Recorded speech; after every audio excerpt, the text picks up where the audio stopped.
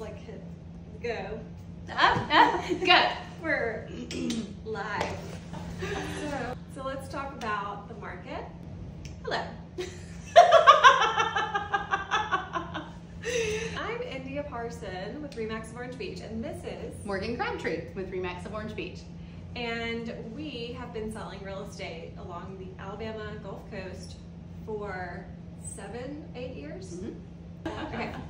All right. So the market right now, as we've noticed, we have kind of a higher supply and a lower demand across like more listings, less buyers.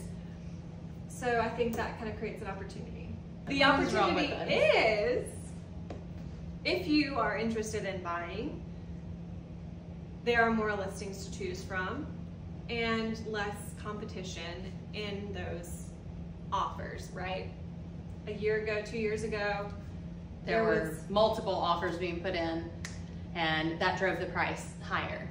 So you would get in situations that were highest and best. So people were making offers sight unseen, throwing out the highest offer that they wanted to to begin with. So it's a different scenario now. It works out in the buyer's favor.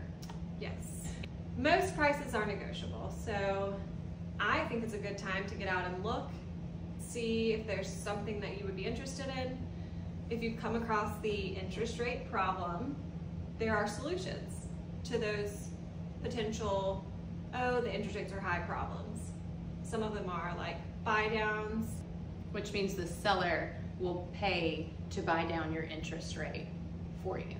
Yes, and most sellers are willing to do so.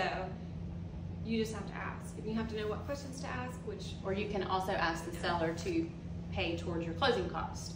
There are different um, ways to get creative to help out in those scenarios. yes, so if you're interested in owning property along the Gulf Coast, possibly a beach house or an investment, rental investment that will make you money, um, now would be a good time to check some stuff out. And real estate is always a good investment. Um, the stock market, you know, has its ups and downs. It's a little scary sometimes.